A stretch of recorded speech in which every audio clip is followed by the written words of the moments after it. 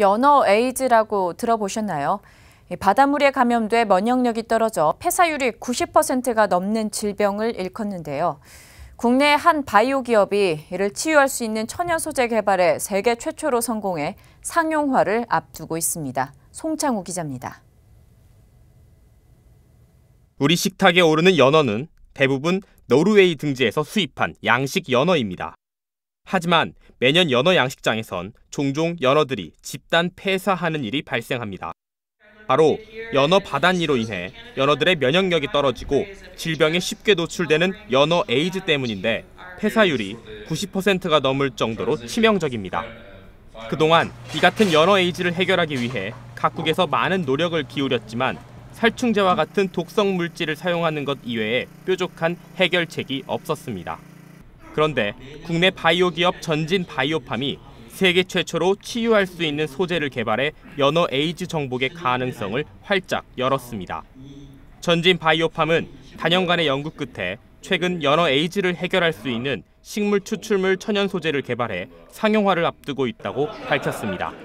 전진 바이오팜의 연어 바단니 기피제는 천연 식물에서 추출해 정제 가공한 기술을 핵심으로 독성의 우려가 낮고 경제성이 높은 것으로 평가됩니다.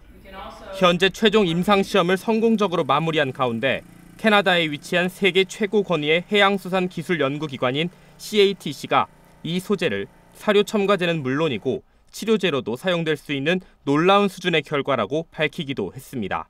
세계에서 가장 많이 먹는 생선이 연어인데요.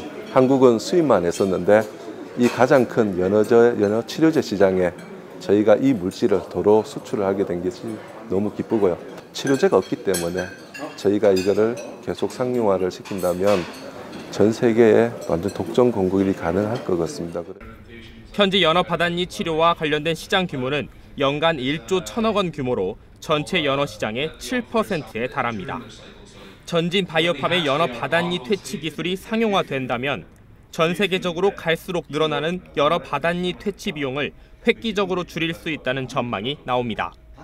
전진 바이오팜은 향후 연어를 비롯한 어류 양식에서 주로 발생하는 기생충 치료제의 개발에도 박차를 가해 새로운 신성장 동력 사업으로 육성한다는 계획입니다.